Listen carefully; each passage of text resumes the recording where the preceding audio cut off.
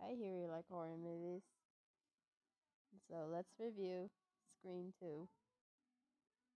Hello, Team and Candy Cruise, all horror movie fans. This is Kylie the Bob the Builder fangirl here once again, and today I give a review on Scream 2. Came out in 1997.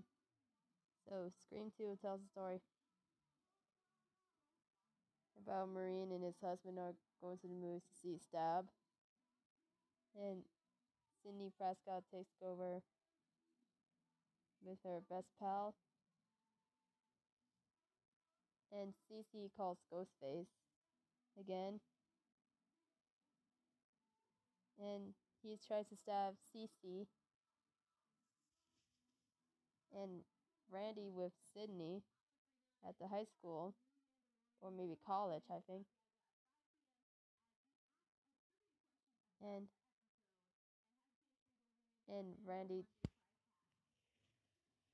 and Randy tries has to call everyone. And okay, back to my review on screen 2. So and Sidney takes over with her best pal at the taxi and Ghostface tries to kill two officers. And Mrs. Loomis and Mikey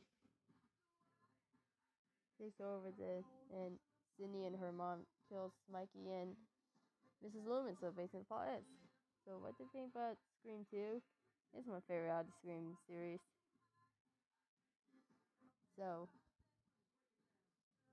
the horror is amazing. The killing scenes are terrifying. The characters are amazing. Ah, poop. Sorry, my mistake. So, this is my favorite out of Scream series.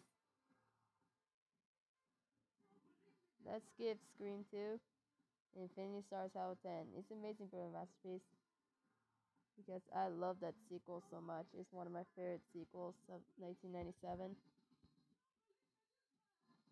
This is one of my favorite Scream sequels of all time. But Ghostface is my favorite horror villain. But he's mine. So, my next review is Scream 3. Oops. Where's the stop button? There we go.